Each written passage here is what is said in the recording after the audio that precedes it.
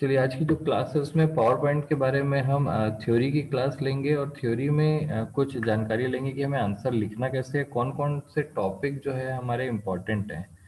सबसे पहले power point के बारे में इंट्रोडक्शन यहाँ पर आप स्क्रीन पर देख रहे होंगे कि ये माइक्रोसॉफ्ट कंपनी के द्वारा बनाया गया एक एप्लीकेशन सॉफ्टवेयर है और ये माइक्रोसॉफ्ट ऑफ़िस पैकेज के अंदर आता है। यानी कि अगर आपके अपने कंप्यूटर पर पावर पॉइंट इंस्टॉल करना है तो ऑफ़िस पैकेज डाउनलोड करना पड़ेगा। अभी जो हम वर्क कर रहे हैं वो 2007 वर्जन पे वर्क कर रहे हैं लेटेस्ट वर्जन भी आ चुके हैं। पावर पॉइंट का यूज़ आप इन एरिया पर करते हुए देख सकते हैं। मैक्सिमम कई जगहों पर पावर पॉइंट का यूज़ किया जाता है, लेकिन ये कुछ कॉमन एरिया है जहाँ पर पावर पॉइंट को सबसे ज़्यादा यूज़ किया जाता है। तो यहाँ पर आप देख पा रहे होंगे कि किस किस जगह पर पावर पॉइंट का यूज़ किया जाता है? जैसे एजुकेशन बिज़नेस एडवर्टाइजमेंट एनिमेशन बनाने के लिए सेमिनार्स में प्रेजेंटेशन देने के लिए कॉन्फ्रेंस में प्रेजेंटेशन देने के लिए ये कुछ कॉमन नाम है। इसके अलावा भी आप अपने मन से आ, क्योंकि पावर पॉइंट का यूज़ अनलिमिटेड कई जगहों पर यूज़ किया जाता है ये। तो ये कुछ कॉमन पॉइंट्स लिखे हुए हैं और आप अपने इच्छा अनुसार कुछ पॉइंट्स इसमें जोड़ सकते हैं, कुछ पॉइंट्स हटा सकते हैं।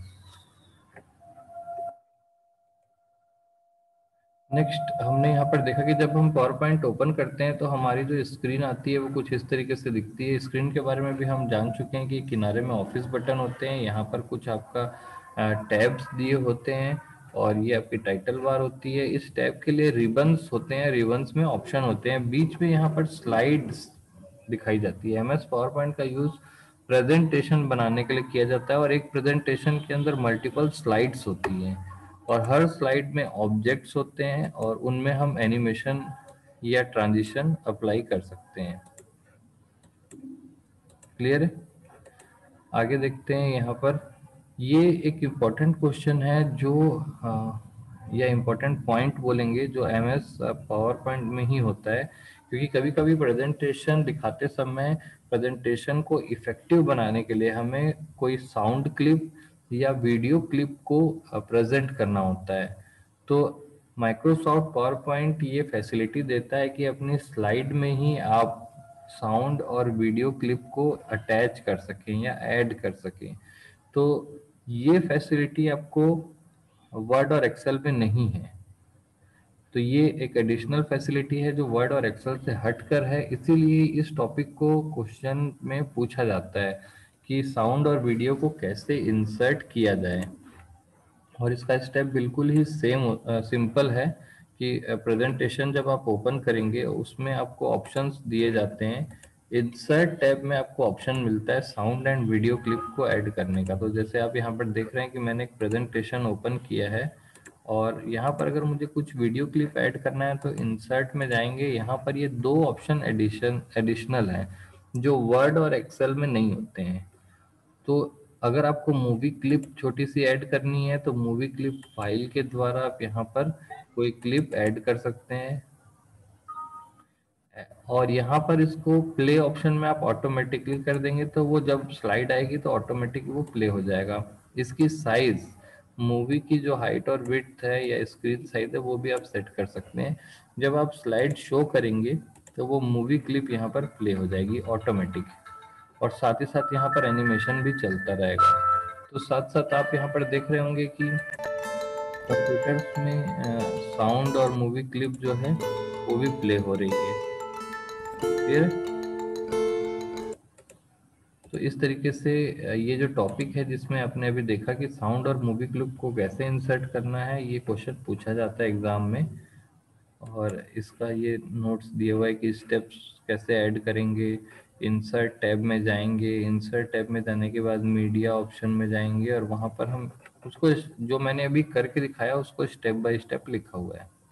और ये छोटा सा डायग्राम है जो हमने अभी देखा जिसमें हमने इसको फोकस किया था अभी इंसर्ट में ये वाले एरिया को डायग्राम बना करके दिखा दिया गया है। साउंड फ्रॉम फ़ाइल और ये सब।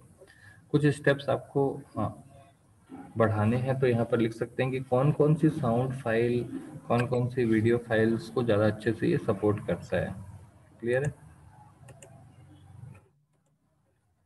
तो कुछ साउंड और वीडियो फाइल्स के फॉर्मेट यहाँ पे दिए हुए हैं और इनके और भी फॉर्मेट्स हैं। आप अपनी इच्छा अनुसार इसमें कुछ फॉर्मेट जोड़ सकते हैं, कुछ फॉर्मेट्स को हटा सकते हैं। अगला जो इम्पोर्टेंट पॉइंट है वो है एनिमेशन एनिमेशन जो है आपको कस्टम एनिमेशन के नाम से भी दिखेगा और ये एनिमेशन का एक टैब है। एनिमेशन जो होता है वो किसी ऑब्जेक्ट पे लगाया जाता है। कस्टम एनिमेशन पे क्लिक करने पर यहाँ पर आप देख रहे हैं कि इफ़ेक्ट आपको देखने के लिए मिलेगा। और कई टाइप के इफ़ेक्ट है। ये चार पाँच इफ़ेक्ट के नाम आप याद रखिए।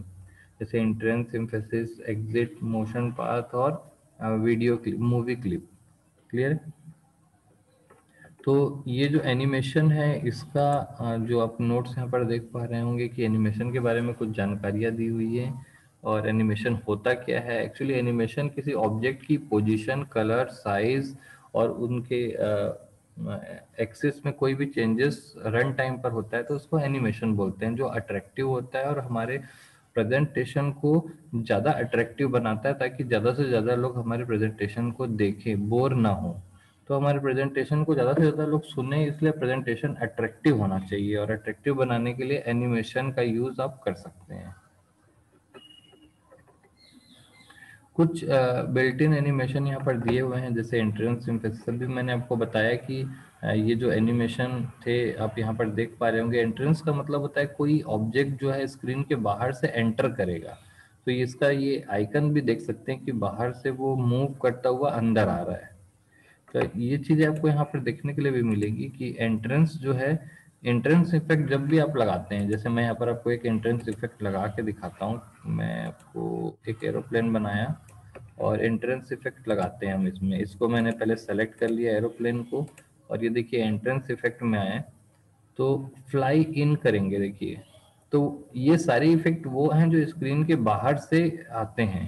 फ्लाई इन करेंगे तो अपने आप देखिए वो बाहर से एंटर करेगा एंट्रेंस इफ़ेक्ट ये सारे इफ़ेक्ट जो है स्लाइड के बाहर से एंटर करने के लिए इफ़ेक्ट हैं और कुछ इफ़ेक्ट के नाम यहाँ दिए हुए हैं और मोर इफ़ेक्ट में जाएँगे तो और भी बहुत सारे इफ़ेक्ट मिलेंगे। ये देखिए।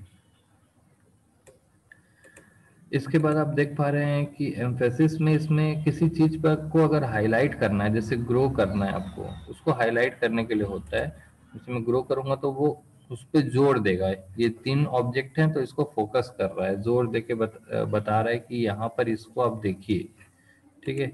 इसी तरीके से एग्जिट इफ़ेक्ट जो होता है वो फ्लाई आउट करता हूँ। देखिए क्या होगा? ये बाहर चला जाएगा। तीन इफ़ेक्ट मैंने लगाए और जब तीनों को यहाँ से मैं प्ले करूँगा तो देखेंगे आप कि पहले वाला इफ़ेक्ट ये वीडियो क्लिप को हम हटा देते हैं। ये प्ले हो जा रहा है। तो देखिए, यहाँ पर जब मैं इस इफ़ेक्ट को प्ले कर रहा हूँ तो पहले एंटर किया ग्रो किया और उसके बाद बाहर चला गया।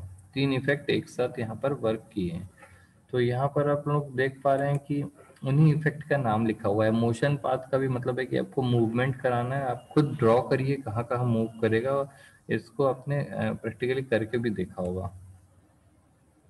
तो ये एनिमेशन कुछ यहाँ पर पॉइंट्स बहुत इंपॉर्टेंट होते हैं। पॉइंट्स और ये जो डायग्राम बना है छोटा छोटा इनका बहुत सिंपल सा मीनिंग है। आप बिल्कुल आसानी से बना सकते हैं और याद भी रख सकते हैं।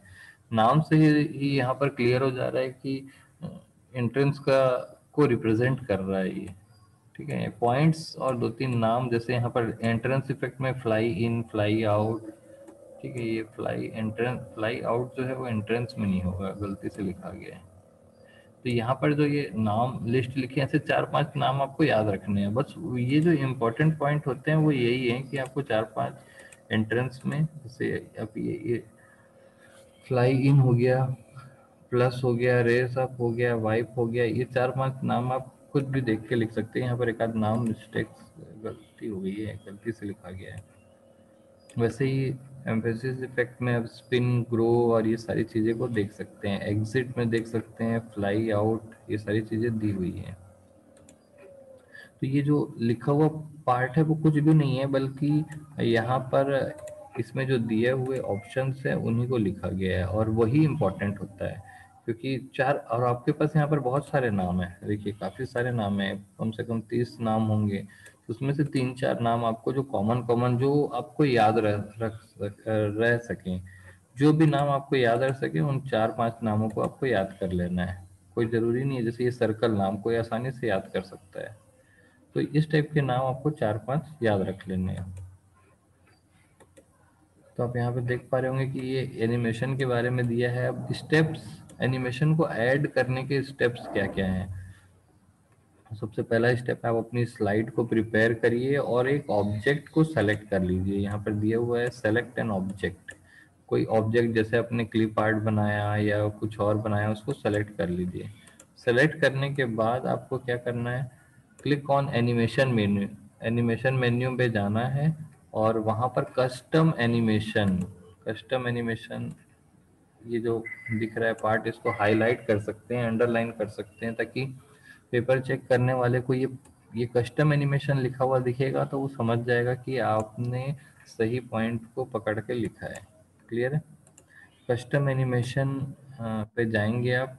उसके बाद आपको एड इफ़ेक्ट पे जाना है, और एड इफ़ेक्ट पे जाने के बाद आप अपना जो भी इफ़ेक्ट जो भी आपको लगता है, जैसे एंट्रेंस मोशन पाथ वगैरह उसको अप्लाई कर देना है। अप्लाई करने के बाद आप उसको प्ले बटन से प्ले करके देख सकते हैं उसका प्रीव्यू कैसा दिखेगा वो। क्लियर ये सारे स्टेप्स हैं। आपने अगर आ, किया है एनिमेशन एक आध बार करके देखे हैं आप तो बिल्कुल ही आसानी से ये चीज़ आप समझ सकते हैं और बिल्कुल आसानी से इसको लिख भी सकते हैं।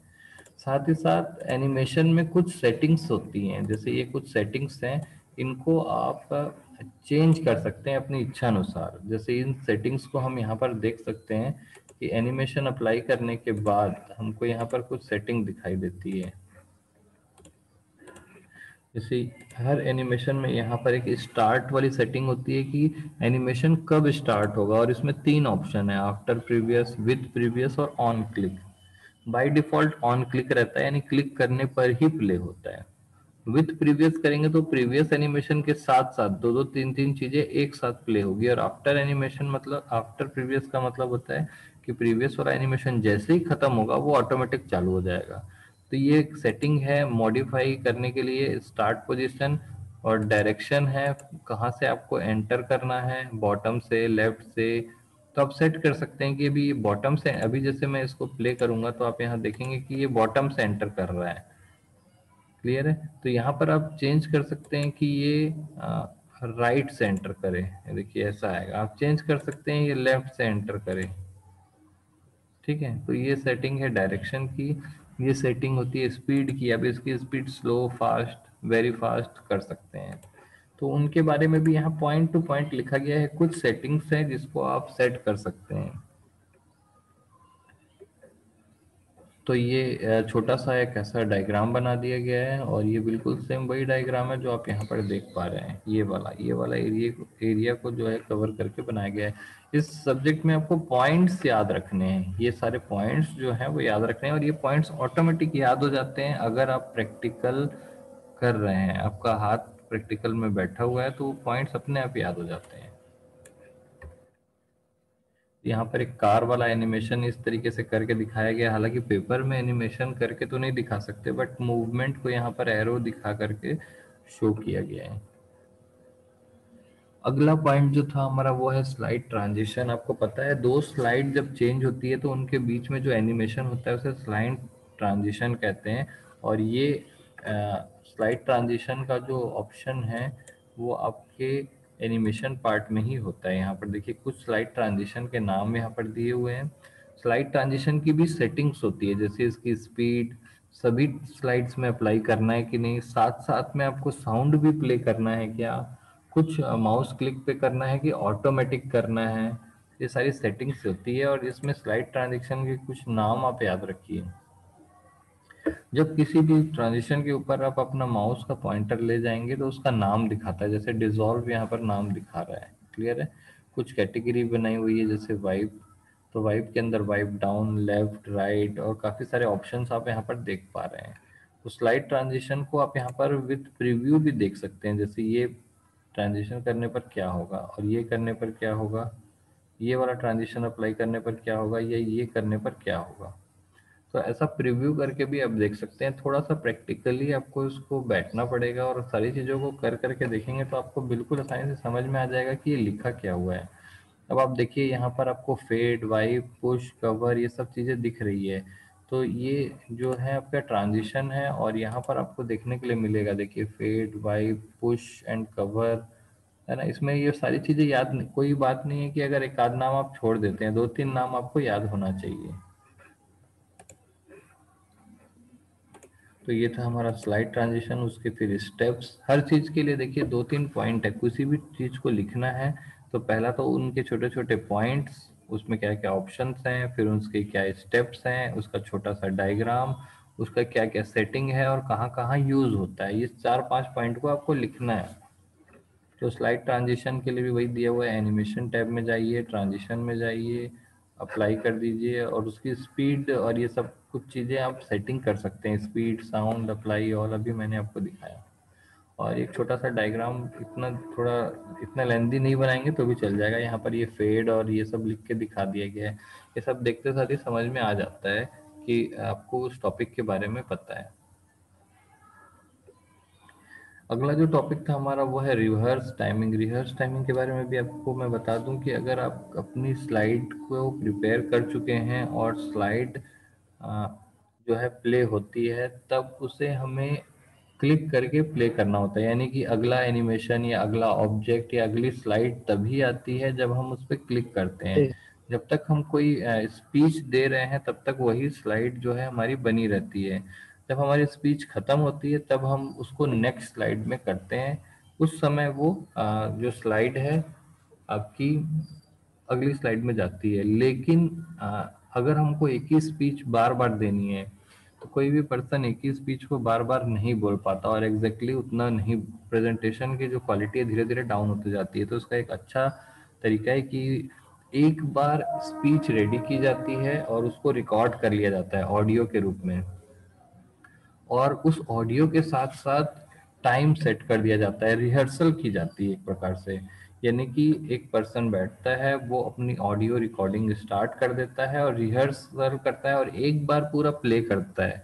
वो बोलते जाता है और टाइम को क्लिक करके चेंज करते जाता है। वो टाइमिंग यानी कि वो जो एक बार प्ले होता है, वो पूरा का पूरा स्लाइड में विथ ऑडियो एंड टाइमिंग पूरा रिकॉर्ड हो जाता है इसको रिहर्स टाइमिंग ऑप्शन से किया जाता है। नेक्स्ट जब रिहर्स टाइमिंग हम कर लेते हैं तो फिर वो जो स्लाइड है वो ऑटोमेटिक उसको एक बार प्ले करके छोड़ देते हैं वो कंटिन्यूसली प्ले होते रहती है और साउंड प्ले होते रहता है। तो एक ही चीज़ें कई बार उसमें प्ले होते रहती है और एक पर्सन को कई बार यहाँ पर प्रेजेंटेशन देने की ज़रूरत नहीं पड़ती है। तो ये हमारा जो आ, आ, जो हमारी मेहनत है उसको कम करता है। रिहर्स टाइमिंग वाला ऑप्शन जो है। तो इनके स्टेप्स हैं रिहर्स टाइमिंग को हम कैसे अप्लाई करेंगे? और ये कुछ इम्पोर्टेंट पॉइंट्स थे जो हमने देखा था। अब जैसे मैंने यही एनिमेशन लगाया और इसको जब मैं प्ले करूँगा तो ये रुका हुआ है। जब तक मैं क्लिक नहीं करता हूँ, तब तक यहाँ पर कोई प्ले नहीं होगा। क्लियर है? अब मैं यहाँ पर जैसे मैं क्लिक किया, तब मेरा एनिमेशन जो है नेक्स्ट आया। नेक्स्ट एनिमेशन आया देन नेक्स्ट एनिमेशन आया। मैं अब रिहर्स टाइमिंग अगर लगाना चाहूँ तो मैं यहाँ पर स्लाइड शो में जाऊँगा। मेरे पास रिहर्स टाइमिंग का ऑप्शन है। रिहर्स टाइमिंग पर जाते ही यहाँ पर देखिए टाइमिंग स्टार्ट हो गई है। अब मैं जितने जितने सेकंड पे क्लिक करते जाऊँगा, वो टाइम यहाँ पर नोट होते जा रहा है और साथ ही साथ रिकॉर्ड हो रहा है। आपको लास्ट में बताएगा कि टोटल टाइम ऑफ़ स्लाइड बस टेन सेकेंड, दस सेकेंड की स्लाइड बनी है, जो भी आपने बनाया है। और आप इसको सेव करना चाहते हैं कि यस, आपकी टाइमिंग सेव हो चुकी है। और आप सेटअप शो में जाइए, लूप कर दीजिए। लूप मतलब वो बंद नहीं होगा, कंटिन्यू चलता रहेगा। अब मैं जब प्ले करूँगा तो देखिए, मैं कहीं पे क्लिक नहीं कर रहा हूँ। और साथ ही साथ वो अपने आप टाइमिंग पे अपने आप आते जाएगा, अपने आप एनिमेशन आते जाएगा। साथ ही साथ अगर मैंने साउंड रिकॉर्ड किया है तो साउंड भी इसमें प्ले होते जाएगा और लास्ट स्लाइड खत्म होने के बाद फिर से फ़र्स्ट स्लाइड आ जाएगी।